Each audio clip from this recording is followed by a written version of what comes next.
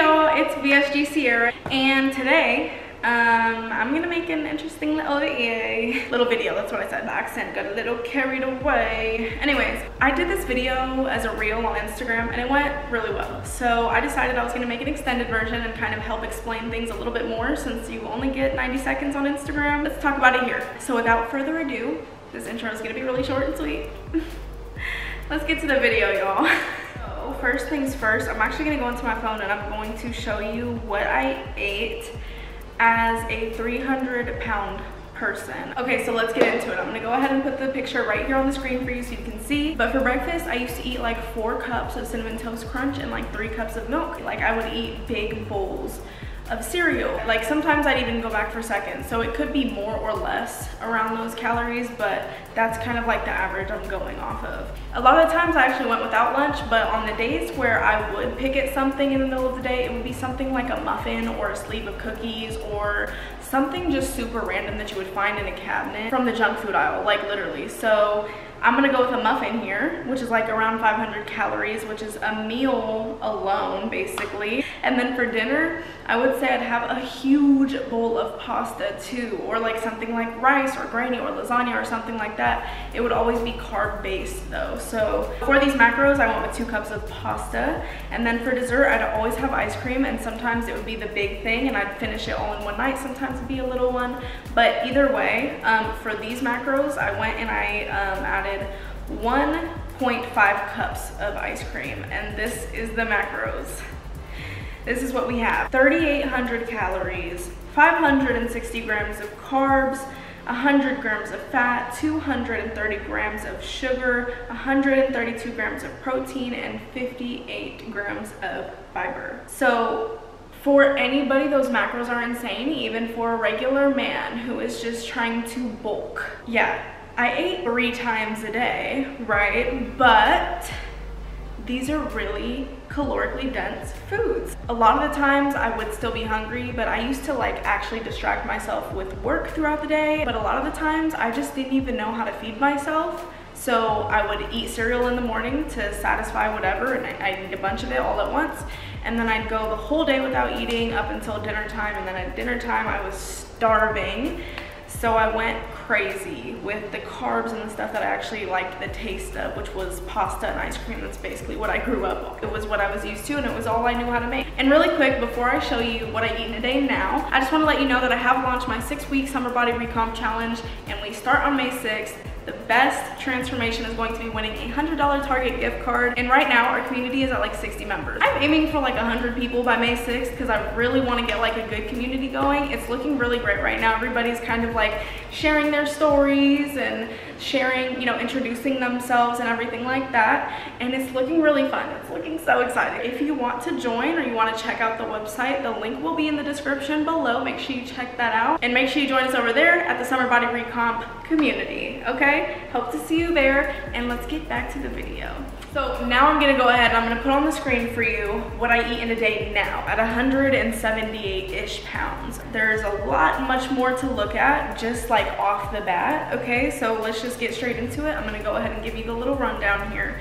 For breakfast, I always love to have a coffee. I was never a coffee person before. I don't know what got me into coffee so hard, but I love it now. I always go for the, the lowest calorie option because coffee itself doesn't really have a lot of calories in it. It's just what you add to it. The one that I'm dealing with right now, the iced coffee, is from Delight. It's a zero grams sugar added coffee. It's a mocha flavor and it's delicious alongside one cup one little cup of the triple zero Greek yogurt by Oikos, and then I would have two spinach and egg frittatas. That would be my breakfast, um, and sometimes I would even just have coffee and yogurt together at like 7 in the morning, and then I'd eat the spinach frittatas at like 11. So I'd kind of break up my breakfast so that I'm not too, too hungry throughout the day. I am a snacker. I do like to snack. So I make sure that I make room for snacks as well. At lunchtime, I'll eat around a cup of broccoli. I'll have a full banana sliced on top of one rice cake. Those are like 30 calories. It's insane. I love them. Mm. With one tablespoon of reduced fat peanut butter, that, that rice cake peanut butter banana combo is like, that's my dessert at lunch. I'm like, man, I'm having some dessert at lunch. This is crazy. I love it. obsessed. Okay, and then the chicken breast chunks from Costco, they're literally chicken nuggets. You put them in the microwave for like three minutes with some broccoli and your meal is like literally done. Man, man. That's just for me. I'm very, very easy. I love putting easy things together, okay? So the spinach frittatas, they get microwaved. The chicken nuggets, those get microwaved. The broccoli gets microwaved. So far, I've done no cooking in the day, okay? I'm a busy, busy, busy gal, okay? So for dinner, I'll have three ounces of chicken breast. That's always meal prepped. I always keep like four bags of different marinated chicken stashes in my freezer and then I'll defrost them and put them in the crock pot for the day and that's my like it'll stay in the fridge and I'll eat that with my dinner. Microwave some brown rice one fourth cup and then another cup of cooked broccoli. That's my dinner. Throughout the day sometimes I'll have some fruit. I'll have a plum or I'll have an apple or maybe a banana or something like that. A banana is kind of high in calories so you might want to watch the bananas but don't say I said the bananas are bad for weight loss. They're not. They're just a calorically dense fruit compared to the other fruits that you can choose from. Eat those bananas, sis. I love bananas. That's my favorite fruit and I can't live a day without one. So that's why it's in my lunch. These macros in specific actually include everything that you see on this picture. So yeah, it's not like I'm choosing one of the snacks. I'm actually eating all of these snacks throughout the day. I'll have a protein shake at some point, another yogurt at some point, and then some fruit at some point. It honestly feels like waking up, I get to eat, I get to have another snack, I get to drink some coffee, I get to have my banana and my peanut butter, and those are, it's like, ugh, I'm just a happy girl. It's very, very exciting to eat for weight loss. I never, in a million years, thought that I would still be able to eat because I was told before, you know, you can't have peanut butter, you can't have bananas, you can't have chicken nuggets, you can't have sweet yogurts and coffees and things like, yes you can. Looking at this picture here, I would say my processed foods to natural foods, I'm doing not too awful, okay, for someone who doesn't like to cook. So let's look at the macros um, right at the top. 1200 calories before you freak out. Okay, let me, you know what? Reboot, rewind. Um, a lot of people love to freak out when they look at my macros, but I just want to say this. Don't follow my macros. My macros are not your macros. For one, I'm a bariatric patient, so if you're not a bariatric patient, my macros definitely aren't your macros. And even if you are a bariatric patient, you might be taller than me, you might be shorter than me, you might have more body fat than me, you might have less body fat than me. Our macros still won't be the same. Make sure you find your maintenance calories and macros or whatever by going on the TDEE calculator on Google or just search up how to find my maintenance calories and then double, triple, and quadruple check. So let's just get back to it. I just poked my eye. Girl, I just barely missed my retina.